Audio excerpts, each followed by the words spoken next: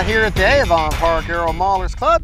We're going to be taking up the Arrows RC L39 Albatros. Now I'm going to hand launch her, obviously, with um, in the self-level mode, otherwise known as uh, stability mode. Because if you look at that uh, elevator, you see how it's kind of tilted up, right up here. That's trying to turn that plane this way. That's how you know your, your gyro's working. If you look right down the, the ailerons, if I turn this plane this way, See this aileron is kicking up this way? Well, what that would do, that would level the plane. That's called the self-leveling. And that's a great way to uh, ensure a little bit of success in taking off with this plane is to take off in self-level and then immediately switch to, I'd switch immediately to optimize mode, which or um, AS3X or wind mitigation. Um, or you can leave it in self-level if you want, but you're gonna be very limited by your controls and your turns are going to be very, very wide. Now this is the first time I have flown this plane in a 4S. I am running the, if you can see in there, I'm running the 1500 milli, uh, milliamp 4S RC Hackers, which same battery that uh, Brian Phillips put in his plane. Um, the manufacturer says it's 3S. I disagree. I think 4S is the way to go. On all of these little planes, I have found that the ESC does not get hot uh, it doesn't any more than it does on 3S. And the 4S just gives you just enough punch. And you gotta remember, power equals safety, okay? When you're getting into trouble, if you got the power to get yourself up out of trouble, that's where the 4S really comes into play. All right, we're in self-level mode. Motor is now on. Let me make sure of my directions, right, left, up and down. This has no rudder, so it's just a bank and yank only. So here we go.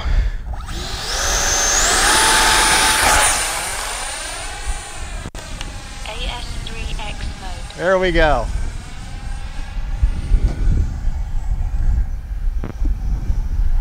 Yeah, I like her on 4S so much more.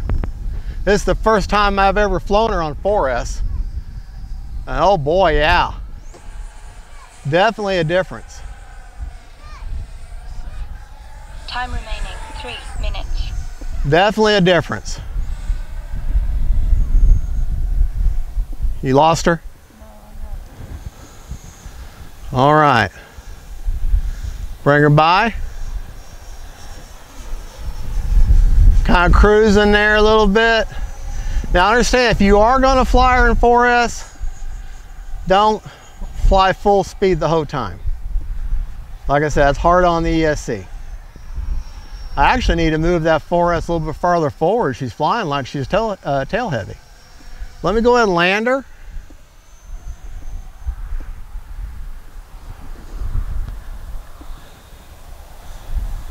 I may, have a problem to land her. She doesn't want to come out of the sky.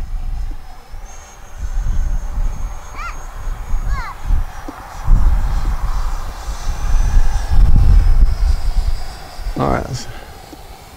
Time remaining two minutes. All right, bring her back here towards me.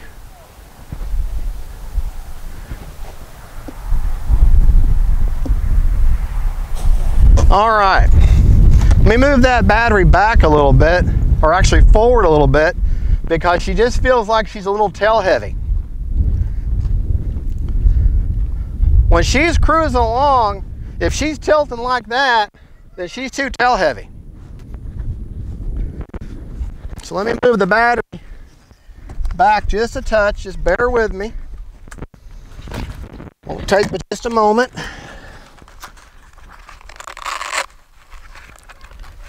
There. That should be better. Okay. Put her back in Self-level. self-level again. And this time, I'll land, I'll launch her the way you're actually intended where the hand holds underneath. Okay.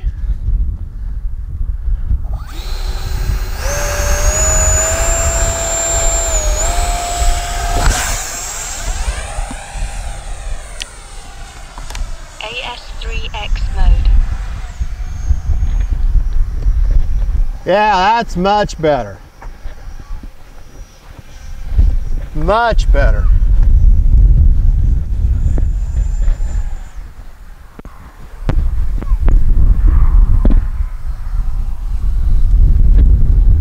CG is everything. It is, it really is. CG is everything.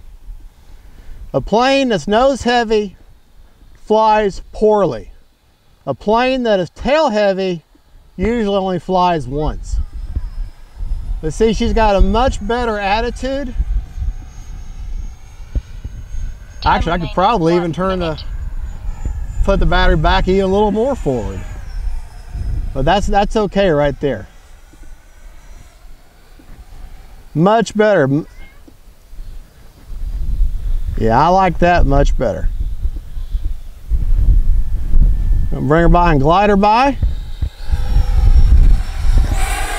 There, hit the coals.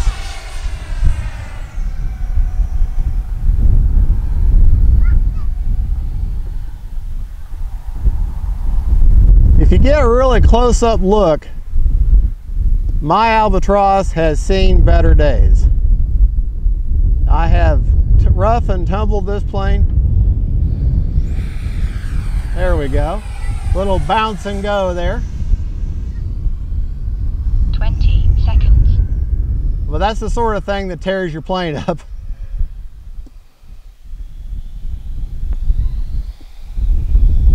Ten, nine, eight, There we go. If you see all the, you get too slow, she'll drop a wing on you like you saw just happen.